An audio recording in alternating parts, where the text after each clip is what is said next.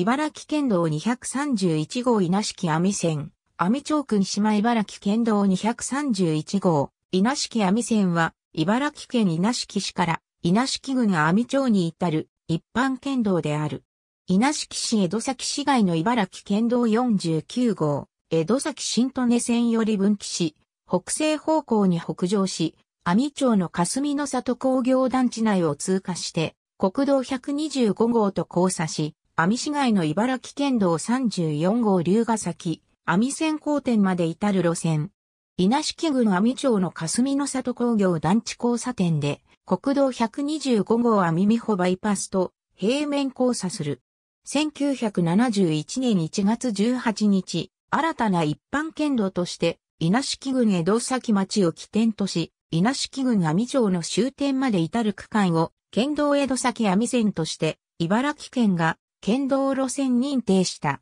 1995年に、整理番号変更により現在の整理番号232となり、2006年には平成の大合併に伴い路線名称が県道稲敷網線に解消され現在に至る。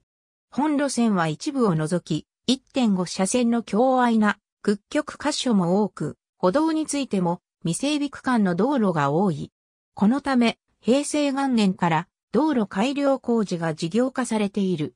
現在、旧江戸崎西高校跡地に稲敷市新庁舎が建設される予定で、稲敷市の道路ネットワークにおいても重要な位置づけ、路線となることから、稲敷市、江戸崎犬塚の道路改良事業が推し進められている。道路法の規定に基づき、稲敷市、江戸崎同市犬塚間は、緊急輸送道路として機能を維持するため、災害発生時の被害拡大防止を目的に、道路用地内に電柱を建てることが制限されている。1971年の路線認定当初の終点は、稲敷郡網町大あざ、網県道荒川沖網線交点としている。福音、曲線半径、勾配その他道路の状況により最大積載4トンの普通貨物自動車が通行できない区間。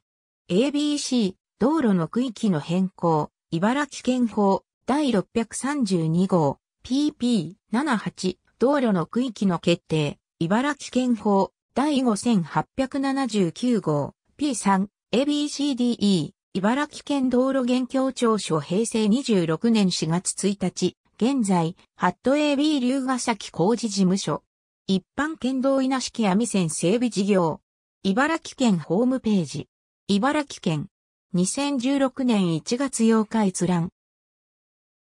県道路線の認定。茨城県法第5879号 P2 補正昭和46年1月18日付。茨城県法第5879号中茨城県国時第42号、茨城県法第5885号 P13 道路の区域変更、茨城県法第7202号 P9 道路の区域変更、茨城県法。第7245号 PP23 県道の路線名及び整理番号の変更、茨城県法。第637号 PP82 道路の区域の変更茨城県法。第945号 P10 道路の共用の開始茨城県法。第1059号 P10 車両制限令の規定に基づく道路の指定茨城県法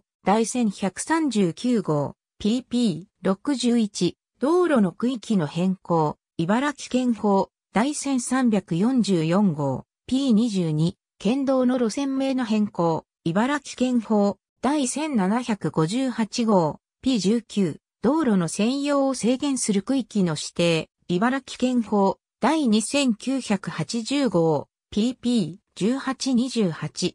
ありがとうございます。